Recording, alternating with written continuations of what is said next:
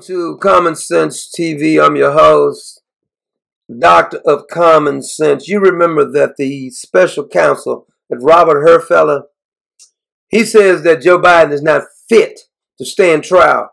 So why is he fit to be president? But Jill Biden released a tweet and she was upset and she even went on one of these shows and she says, I hope you can imagine how I felt to read that attack. It wasn't an attack, heifer. It was the truth.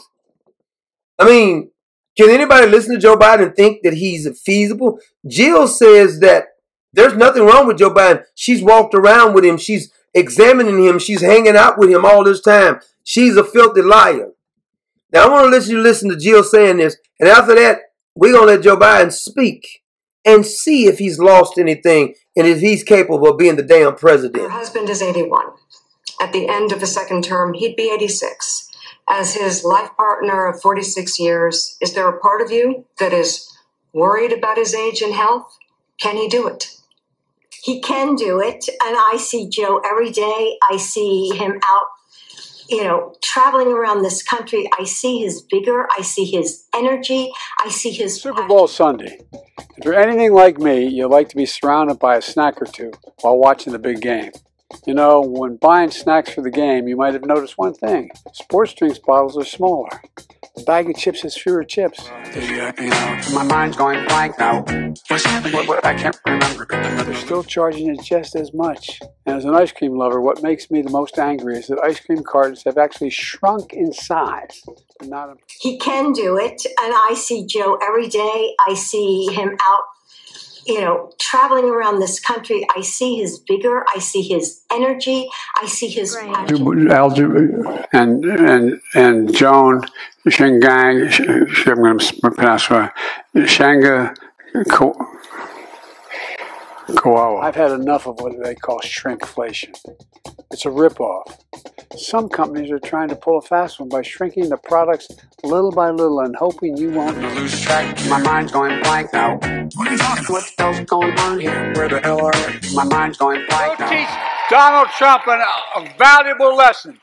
Don't mess with the women in America unless you want to get the benefit. He can do it, and I see Joe every day. I see him out you know, traveling around this country, I see his vigor, I see his energy, I see his asylum, off, asylum officers, and over 100 cutting edge inspection machines to help detect and stop fentanyl coming out of our southwest border. America is a nation that can be defined in a single word. I was going to put him in, forget his season, he'll be done games.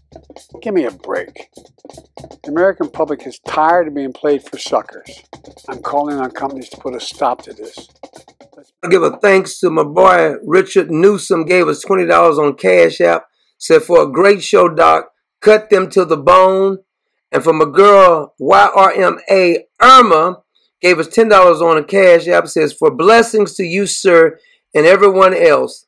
God bless you. Thank you guys for those contributions. Okay. We do got good news.